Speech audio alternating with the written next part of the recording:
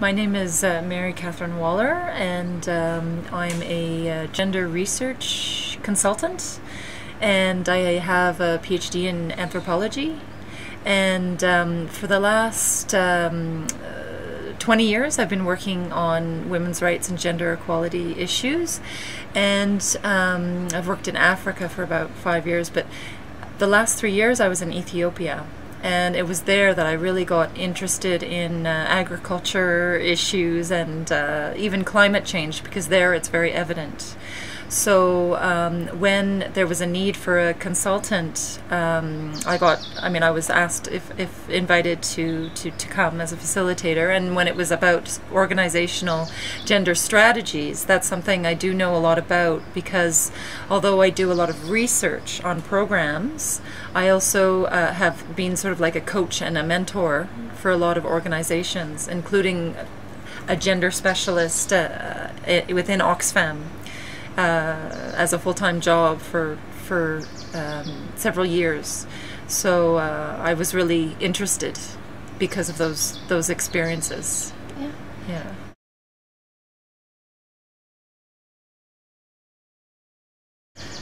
Yes, I mean, one thing I, I observed was that the same issues in um, that you find across all sectors in terms of developing organizational gender strategies and getting people excited about the strategies and taking a gender approach to their work and a personal commitment as well as as in the work that they do and in their official documents the same challenges are in gender and climate change. And even if people i mean that's something i really observed even if people say well it's different because it's i don't know it, it's scientists that are uh, that don't usually think certain scientists are so focused on their specialty they're not necessarily thinking about gender but you would find the same sort of barriers in other sectors as well.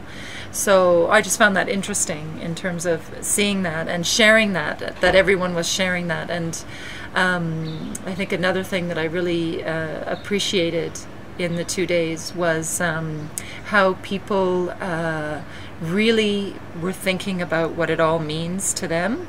And and it was scary. You could see for some people they were saying this is going to be difficult.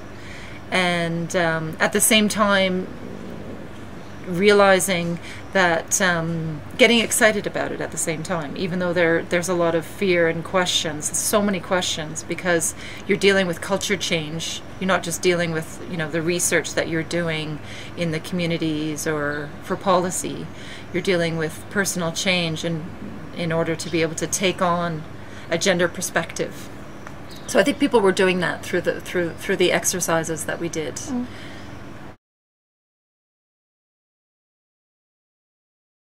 Um, I think the first one is, and it's linked to what I was saying before, is that there's no step by step process for developing a, a, strategy because it is political and it's personal as well for engaging your senior leadership and everyone in an organization, your partners.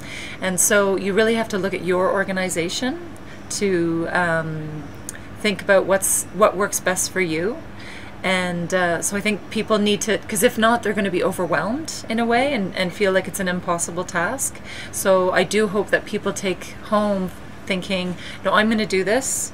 And even if I'm not a gender specialist, I believe that gender is important and I really want to um, apply some of the things that I learned in those two days to to to uh, engage my my colleagues and organization in in in a change process to develop a strategy.